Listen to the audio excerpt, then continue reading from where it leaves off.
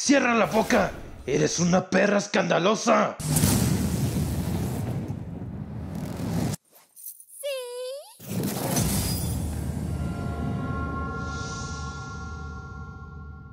En realidad es muy buen hijo. No es alguien que podría cometer algo tan atroz como eso. Oye, no te duermas, Cuyo. Eres libre, sal de aquí. ¿Qué parte de vete a tu casa no entendiste?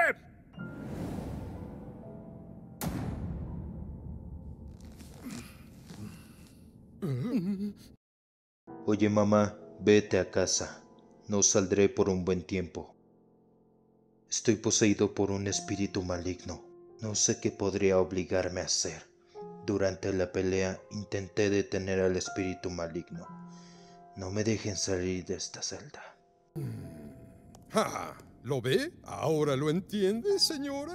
Le decimos que puede irse, pero se niega a salir. Disculpe, pero ¿segura que su hijo está bien de la cabeza?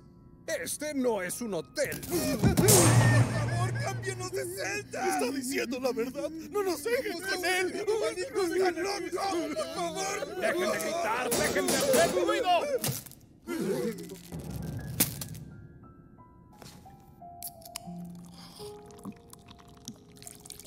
¿Qué, ¿Qué es eso? Pero idiota, estás tras las rejas. ¿Cómo la conseguiste?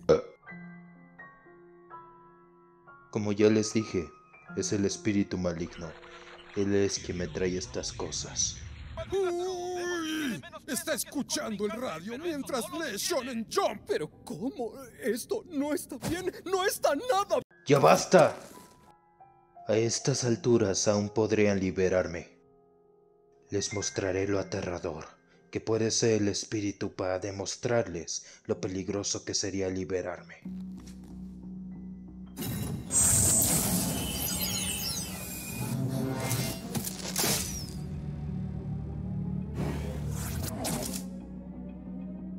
¡Ah! ¡Mi arma! ¿Cómo demonios lo hizo? Respóndame, ¿que acaso no acaban de ver el espíritu maligno? Si no lo vieron,